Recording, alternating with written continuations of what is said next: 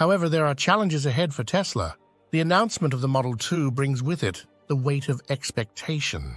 Tesla's history has been punctuated with production delays and quality control issues. A car at this price point will likely generate unprecedented demand, and fulfilling that demand while maintaining quality will be a Herculean task.